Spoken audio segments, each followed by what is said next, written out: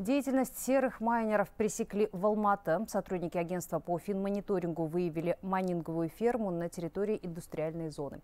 Разместили ее в шести спецблоках. Во время обыска обнаружили больше 700 единиц оборудования с шифровальным комплексом для добычи криптовалюты.